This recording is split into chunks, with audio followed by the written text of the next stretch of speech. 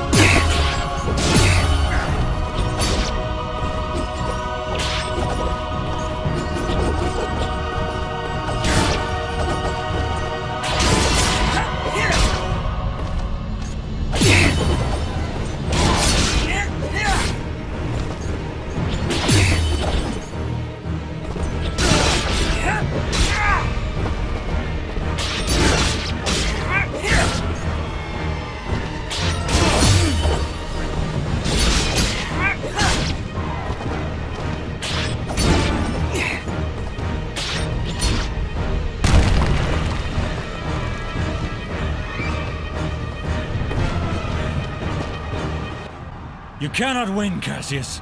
You never could beat me. Stop calling me Cassius!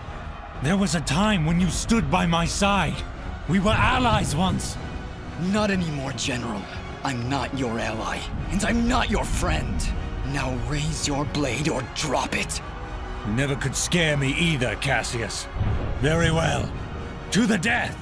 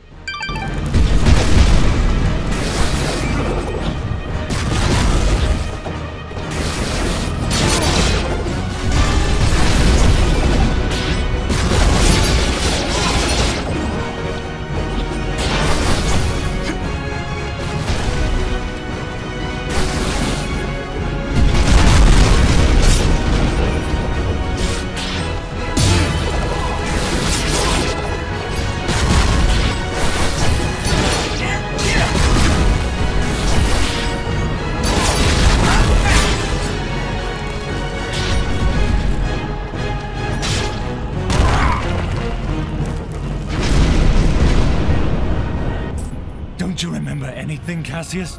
Why would you draw your blade against your fellow soldiers? Why would you draw your blade against me? You're destroying this world, Gaius. You and your soldiers cannot be allowed to continue your campaign. This world belongs to the strong, Cassius. It belongs to us. Don't you remember your duty? Don't you remember your friends? I remember everything. And it changes nothing!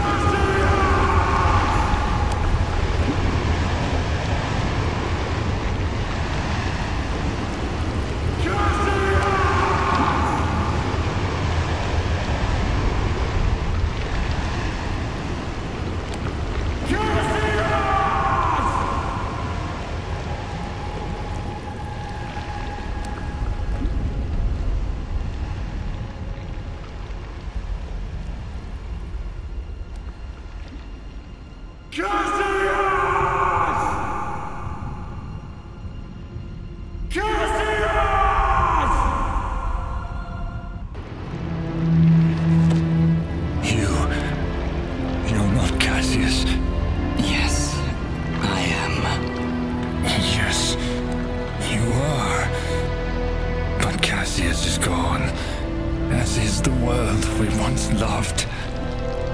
Cherish it.